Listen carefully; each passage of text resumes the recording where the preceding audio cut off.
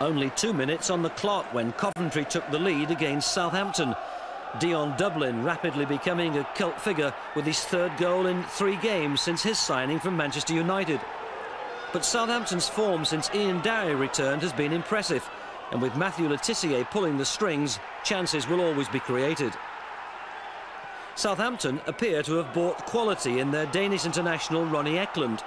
His surging break and cross had Dowie diving in eagerly to head number two